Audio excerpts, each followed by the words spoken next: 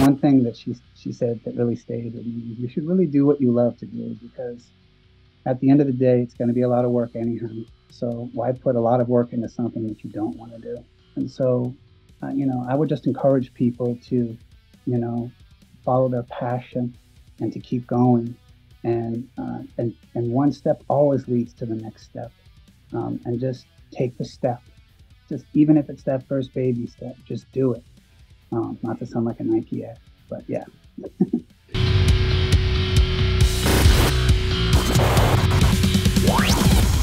Today on the show, we are joined with actor and musician Shawn Andrews. You may know Shawn from famously his role as Kevin Pickford in the film Dazed and Confused, which is celebrating its 30th anniversary. And we talk all about that today, as well as his new single, Ride Like Thunder. And it was just so cool to pick his brain about life as a musician, actor, what he's up to now, reflecting on the film Dazed and Confused, and tapping into his overall spiritual connection with music, acting, and overall just creating art. It was so nice to meet him, just such a chill vibe, and let's get into this conversation right now. Shawn, nice to meet you today. How you doing? I'm doing really good. Nice to meet you as well. Um, I have to say you have a great name. Ah, yeah. I agree with you as well. And uh speaking of great things too, I've been listening to your new song. It's absolutely awesome. And I want to dive into your music life. Um, but first, I think I want I kind of want to go uh back in time and uh celebrate with you today the 30th anniversary of Dazed and Confused. Um, that's an absolutely iconic movie and I think what's so special about it too is even though like it was made in the 90s, took place in the 70s, it also like transcends all generations of people going to high school. Like I ended up watching it uh, later on in the 2000s. It really related to me. I noticed with my uh, girlfriend's little brother, he's turned 14, 15 all his friends watched Dazed and Confused. And I want to know, like, as you were making this film, did you have a feeling that it was going to have like this kind of legacy that would go on?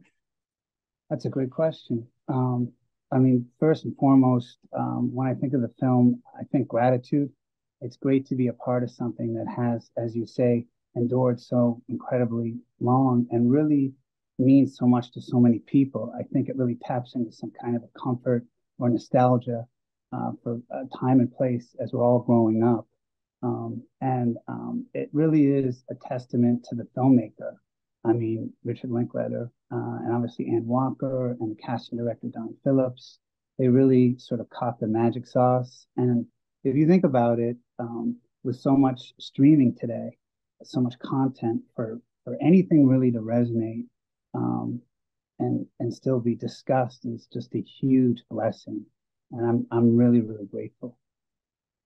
That's amazing, and uh, even uh, I I want to know was your high school experience kind of similar to because like when I watch the film and I see like the the acting and just there's little nuances to all the characters across that are just so real. It's like how people really talk when they're stoned. Like, to your scene of you ordering a keg of beer and hoping your parents are gone you know? It's like these are all things that would happen you know? Like when you're yeah like no it's very realistic. It's very realistic. I mean you know in high school um you know i was definitely just blessed to have a cool group of friends uh, that you know we had a lot of fun with. Um and i definitely um, drew from that experience you know? Um and i think in any role you know you're hopefully you're you're trying to draw from some personal experience to sort of make a bridge or a connect, you know. Um, and uh, so that definitely came in handy. Awesome. And um, after this film was released, uh, obviously, like as we know, it blew up everywhere. Um, how did your life change? Were people like seeing you on the street and like just like yelling like Kevin Pickford at you and like did everything just kind of like flip upside down because it just like such a massive hit like just out of nowhere. Yeah, it was a, li- it was a little a little bit of a slow burn, you know, like mm. in the beginning, but as it it has as we you know talked about really endured, um, I've gotten a lot of love you know, like even the little nuanced things that that I said or mumbled, people, you know, know know like down to the detail, like, oh, oh yeah, I said that. You know, I couldn't. I, it's it's it's very nice. Uh, the the the love that I've I've gotten. I'm very grateful for the fans, uh, for the film, um, and uh, it's just it really is such an incredible blessing, you know. Mm-hmm. Yeah, that's that's so awesome, and uh, even like it just seems like such like an exciting like life-changing time in your life too. And uh one thing i didn't know too like uh this could be wrong because wikipedia lies to me all the time but i'm like looking around the time of the the film and it said around that year you even got uh, married to uh milla jovovich as well. Uh did you guys meet at the on set or was it like a, around that or? Yeah yeah yeah. It was um she was she was definitely like my first love. You know mm-hmm. we were definitely really young. It was a very young person's choice, but no regrets. You know, I learned a lot from it. Yeah, definitely. And I can imagine too going through an experience of like making a film with somebody. It's uh it's beyond even what we see the time and work. Like it's almost like the cast and crew becomes like a second family too. And to have like this experience and even though it was like a short like marriage you had is you guys went through something life changing that uh, a lot of people never experience in their life too. So I can imagine that kind of fueled a fire between you two. Yeah, no, it was uh, you know, like I said, she, I think she's an amazing person, and she's for sure my for me. I can't speak for her, but she was mm-hmm. definitely my first love, and um, yeah, it was a great experience. You know, like um, uh, and I, I definitely learned a lot from it. You know. Yeah, that's really cool. And uh, over the years, uh, have you uh, caught up with any of the other cast members? Like, uh, have do you, is there a couple people you keep in touch with or anything like it's, that? It's crazy, like you know, like out and about here in in, in LA. Like you know, it's it's actually a very small town, and um, if I see somebody that you know that we made that particular film with, it's always nice to catch up, like seeing an old high school friend. Cool, cool. And um, even over the years, I, I noticed uh, you you've been very selective with your acting roles, kind of like spreading out and just kind of like uh, let me know a little bit about like your career and uh, the the reasons why you come back to acting. Is it like your full passion? Do you only like to do it like once in a while, or like kind of what's your yeah? I mean, I think that? that I was, as you say, pretty selective about doing sort of very um, character driven uh, films. Um, sort of particular, I was you know mentored by Arthur Penn at Actor Studio, who really had suggested to me to take my time and not like try to just cash in on the quick um, surge um, mm-hmm. and kind of go more for the, the the marathon and the sprint, so to speak. And um, and his mentorship really helped me, and I definitely think that um, you know, fortunate enough to do, you know, movies like Fix with Olivia Wilde and Megalyn Echikunwoke, which, um, you know, Oliver Stone gave a lot of love to. It's kind of a pretty cool sort of film festival award winning film about addiction and family. I'm very grateful for that opportunity. And then very, I was also fortunate to be the lead also in a movie called Big Heart City, opposite Oscar nominee Seymour Cassel, um, which is a really cool movie. Dennis Hopper gave that movie a lot of love. And awesome. Um, and also uh, another really cool movie uh, I was able to do was with Matt Dillon's directorial debut called City of Ghost. Um, he shot that in Cambodia, and that was like again one of those life changing opportunities to to see that country and to have that experience was pretty spectacular. And so you know, and of course, um, you know, with the writer strike right now, and I'm 100% behind all the writers and all the artists. 100% supportive. Um, probably the next time you'll see me is in a music video. but uh, um, you know, other than that, I my writing producing partner and I are working on a really cool project that my management company is also now involved in. And you know, as when it's time uh, to talk more about it as it evolves, I will absolutely um, you know get into that. But we're hoping to work with a good female director, you know, like a, a Sofia Coppola, or Greta Gerwig, or Kathryn Bigelow, or Lena Waithe, or Autumn Wilde, that kind of a person. But until it's further along and, and I can talk more about it, it's probably best just to to give more of a tease and a talk about it. You know what I mean? Yeah, hell yeah. Yeah, exciting times. And uh throughout your life has acting and music always coincided together? Have like you been making music uh, even around the days we were introduced to you at Dazed and Confused? Yes. yeah i was actually making music first. Oh, that's cool. always kind of been sort of my my my main thing. And then as acting took off music sort of became like a, a personal self-expression. Um, you know, and I would work with really cool musicians out here that were studio level musicians in a very cocooned environment um, and for, for quite quite a while. And then I started to have very vivid dreams of songs. Um, and I would go to bed and dream of a song, um, write it down, go back to bed, and the song would complete itself. And I kind of felt like, okay, I better lean into this. This I felt like, okay, this is something that I I need to start sharing with people. And that's when it it went to the next level. And very fortunate um, and blessed to work with wonderful people. Uh, the producer, engineer of, of, the tracks, it's Matthew Rucker, who's in a cool band called Quitting Whitney. Shout out to that band. And really mentored by um, the legendary Howie Weinberg, who's the best of the best in mastering music. He's in the Laurel Canyon area here with me. He's done Nirvana, Pearl Jam, Jeff Buckley, like over 20 Grammys. Uh, wow. I think over 100 gold records. And he really pushed me. He mentored me he really he really saw where I was going with it and really has and does sort of take the mentorship role. And I've been very fortunate to have people like that in my career that really have I like to call them almost like angels that that that come along at a certain time and really kind of help you on your pathway. Um, and and that really is how it's now like gone to this this uh, next step where you know the first single is released, Ride Like Thunder, and thank you for saying that you really like it. It's a lot to me. Um, and you know, the video is now out too, uh, directed by the very talented Charles Owens, um, and sort of captures the feel of that song nicely. Um, and you can catch that on Vevo. Of course, it's on Spotify and TikTok and YouTube. Apple. Yeah, and YouTube. Yeah, and iTunes. All, all the good, all the good places. Please check it out. Yeah. Yeah, that's so cool. Even uh, what I love about the song too, it does feel like this classic rock like throwback, but also kind of got like a modern spin on it. I guess it's a uh, mm. kind of hard to explain. Like it feels like very natural coming from you. And um, I I take it obviously like a lot of like your influences are from that style, the classic rocks. But what were like some of the stuff uh, you grew up listening to? Yeah, you're you're you're spot on. It's definitely sort of a hat tip to the late '60s, early '70s, and it for sure has Doors vibes. And you can hear the Rhodes mm-hmm. organ in there um, but but it's a retro sort of like rock anthem, and um, very grateful it's getting the love it's getting. Um, some of my influences back then, you know, were were some of the people that I had mentioned before.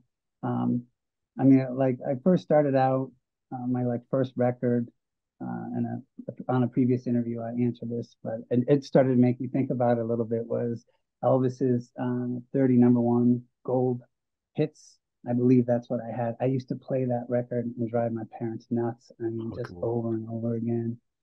And then, you know, uh, a lot of my friends had like uh, like older brothers. We get in their cars and start, you know, get introduced to like ACDC, you know, and start and Black Sabbath, and then you know, nice, yeah. uh, the Doors, and you know, and just stuff like that. And um, it all sort of evolved. But I mean, I love all kinds of music. Like um, if it's if it's something that turns me on, whether it's it's rock or it's like like even like some country or classical, like if it's a rap, like if it's good, I'm I'm in. You know, like if it turns me on, I'm totally into it. Yeah, so you're more like uh, just based on energy instead of some people like to categorize themselves their like personality into genres, but I kind of relate to you too. If it's it doesn't matter if it's hip hop, metal, like if I'm just feeling that energy, it's like yeah. I'm gonna connect with it. Absolutely. Yeah, yeah. No, no, I'm definitely out of the box. yeah. Even um I think what's cool too is uh kind of like your vocal style. Like I'm talking to you right now, you're like you're just such like a chill dude, but then you hear you on the track and you're just kind of like belting these lyrics and stuff. Uh let me know a little bit like how like music has been a release to you because I totally relate to like different projects where maybe some people see me like a certain cadence and then you just kind of put out like this other type of energy into whatever your work is yeah no it's it definitely is like music is um i mean like I like the first time you, you connect to a song, it's like uh, the um, it's spiritual. I know not to sound like you know hokey, but it's almost otherworldly, you know, mm. um, and it it it it it helps you go to a place or a time in your life, uh, or connect a place or time in your life, and you know, and that's certainly with this album.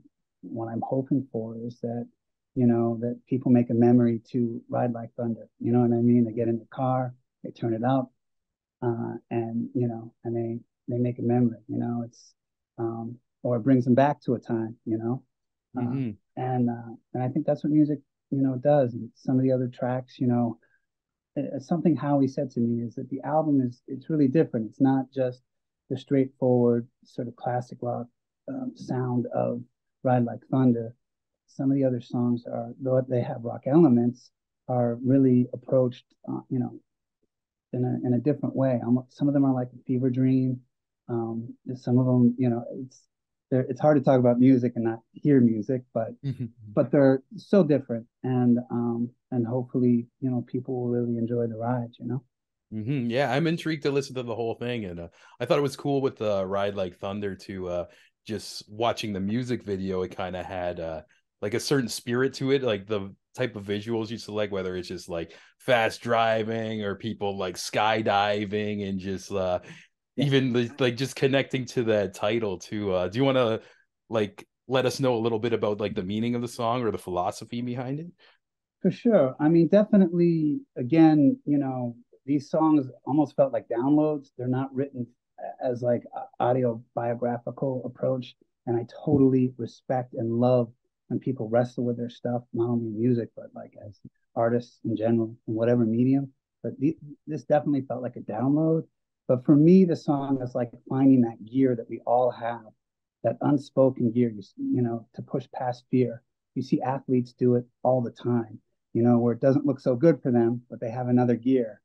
Mm-hmm. And that's the ride like thunder gear. That's the, that's the, you know, sort of the, we all have it inside of us. It's, it should be inspiring. Like, you know, it's kind of like the boxer that you think's counted out and gets up and knocks his opponent out. You know what I mean? Or the skateboarder who like wants to do a trick and pushes through and does it. Or and it can be in any area of your life, but it's definitely about pushing past fear and it's about finding the gear. For me, that's what that song inspires. But it it should be for anyone, you know, whatever, however they connect to it. You know. Mm-hmm. I love it. I love that so much. Uh, just such a good message to you. And sometimes, uh, whether it's in a song or a movie, you need to that reminder that that gear exists, eh, like yeah. once in a while. Because like I find like just going through life, like the human experience, your flame can dim, but uh, that's like what's beautiful about art and like just anything. Like sometimes you just get that little spark, whether you hear a song or see a scene. And I think it's cool you both you do both like movies and film together.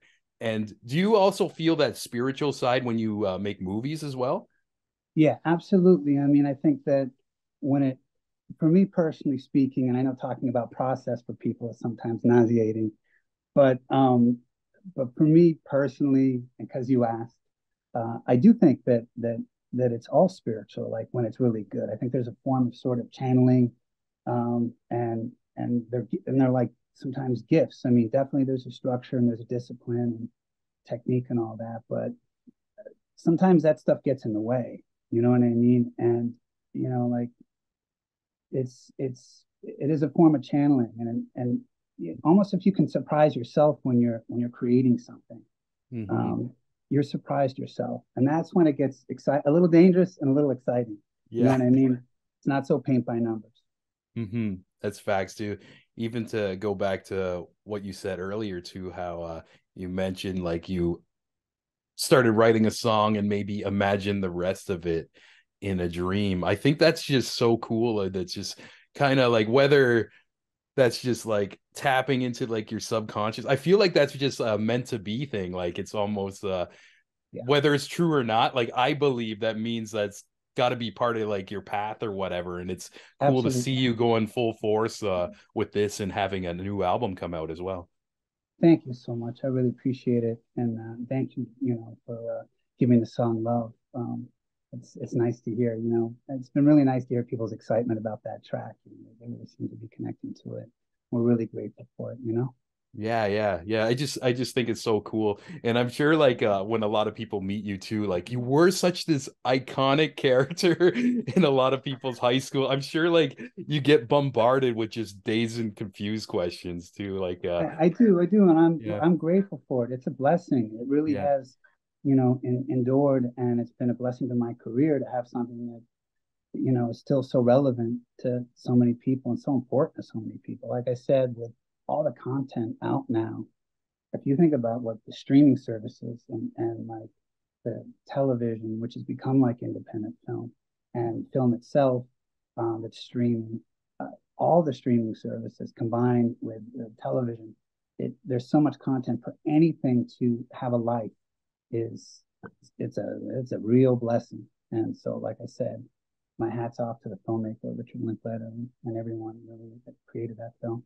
Yeah, that's that is so true. There's just almost so much, and uh, it's it's crazy how much that just stands a test of time, and and it, yeah, it's just awesome, and it's even like I'm so like happy to just kind of hear like what you're doing now too uh when i mentioned i would be talking to you a lot of people got excited and uh one guy on our patreon was like I I molded my whole personality after this cast too, and it's just like uh, they're very intrigued on what what you're up to now, and it's cool to like just hear like you're on this path of music and uh, still making art, and that you got this album coming out and everything.